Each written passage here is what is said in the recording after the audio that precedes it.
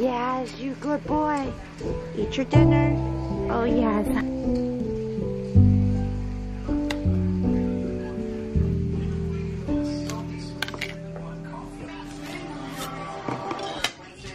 Good morning. So, I'm restarting my YouTube channel. As you can already see, the content's gonna be a little bit different this time. Ooh, it's so bright. I think, I don't know how I'm gonna get this like lighting right when there's so much sun. But, there, okay. Hello, good morning. So yes, I'm restarting my YouTube channel. Okay, come here. Cashy's being a brat this morning. So one reason, I think it's gonna be really exciting. I want the content to be transparent and intentional. So I thought it'd be a good morning to wake up with me and Cashew. I got my breakfast right here, although I don't think I'll be eating it with Cashew sitting in my lap. But wanted to just take a few minutes and talk a little bit about my YouTube journey. I think right now I have about 970 subscribers. Literally every single person that subscribed, I've gotten an email for it. I turned on my email notifications. So thank you so much if you have subscribed up until this point. One of the reasons why I stopped YouTube was I prioritized my work above everything else, above my personal life, above my friends and family. I prioritized work as my number one priority in life. I highly don't recommend doing this. It will burn you out. It will take over your life. You essentially will lose sight of yourself and it just won't be a good ending. One thing really important I think I really strive for with it being 2022 is finding balance. And I think my sister is also I think my sister is also trying to do this. Anyways, that's one of the reasons why I left YouTube. I'm excited to come back and actually make consistent content this time. In the past, I really had no plan. I was just unboxing things, reviewing things, showcasing my life, showcasing fits. Now I really want to be really more intentional with the content that I produce because I feel like so many influencers, they're not transparent. Probably the few that are, are transparently living their lives as as much as they do want to show is someone like Carlos Harris Jr. I think he does a really good job of showcasing that he really built his own career as a social media influencer, but through that, he also released merch. He started his own agency. He has his own office, I believe now in like two different locations, it seems like. So I think this is someone that has lived intentionally, has created purpose for other people, and in so, he's built a community. And these are really things that I want to do too. I feel like I've done these things for companies. I've worked a lot in the agency space and as well as being a corporate strategist. And I don't know, I feel like I've done this in my work and I'm like, why haven't I just done this for myself? It's almost silly. I think also taking a break from content creation, I realized how much I love content creation. If you follow me on Instagram, you'll definitely see that I started posting reels almost every single day. I think maybe there's like one day where I, day just, I lost track of the day and then it was midnight and I was like, oh, I should just post right now, whatever. So if you follow me on Instagram, I've been creating a ton of outfit of the day reels as well as just other like fun things. But through this small little journey, I have figured out that I do love content creation and I want to go back to YouTube. My original plan actually was to restart my YouTube channel at the end of 2021, but I got really, really sick. And no, it was not COVID. I was in Miami with my mom, my sister, and my husband. And literally on the first night, my body decided to pass a stone Justin said that it's a gallbladder stone to put it into, I guess, one general term. The most painful experience of my life. As well as my mom and sister also just saw me in screaming agony for about 48 72 hours, which was the entirety of our vacation, mind you. I was not able to actually eat anything. So anything I showed on Instagram at all of the amazing restaurants we went to, I might have had maybe a taster bite, if you will. before feeling like I was gonna throw up or before actually going ahead and throwing up.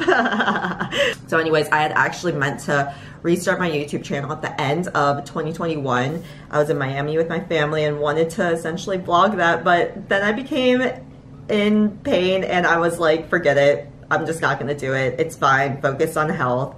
It's all good. So then I recover, Christmas passes and about to go into the new year and I get sick again. I get a sinus infection from my mom. And yes, it is 100% a sinus infection because we all got tested for COVID so many times and we're all still negative. So it was a true sinus infection. I believe that she actually knows who she might have gotten it from and she mentioned something basically the entire trip and we all were like well we didn't get it. And then of course I got it. It likely was due to having a weak immune system. I had gotten my booster right before we went to the trip and then I passed the stone and then essentially I thought that my body was so weak that I was unable to ward away my mom's sickness and ended up getting it. And then, worst of all, ended up giving it to my husband a few weeks after I had it. Anyways, that sinus infection took me out for about two, two and a half weeks of just unable to do anything. Like the sinus was taking over my head. I was dizzy. I just couldn't do anything. And Justin knows that I was planning to restart my YouTube. I had a ton of other things planned out and then this happened. So he looked me in the eye and he was like, you just need to rest. Just rest and take the time to rest. So I agreed with him and just saw the beginning of 2021 as a way to rejuvenate and restart in a way. I also feel like maybe the universe also sent me a sign that was like avoid Omicron and we're just gonna get you sick but not with COVID and now you're bedridden for two weeks during peak time. Anyways, I just wanted to share a little bit more about why I left YouTube and what I do kind of hope for this channel to be. I want to do a few vlogs. I haven't really figured out what exactly I want to show in the vlogs, but things like this, I definitely want to have a short little brief talk with you guys and just kind of share what's transparently going on in life. So much is so curated by other people that I don't really see Cassie doesn't like the curated look. I feel like so much is so curated by other people. It's hard to understand what's authentic and what's not. Maybe me living my most authentic life through YouTube will inspire you to do the same. I'm gonna eat this breakfast. It's definitely cold now and I'll take you guys along the rest of the day. Excited to bring you on this journey.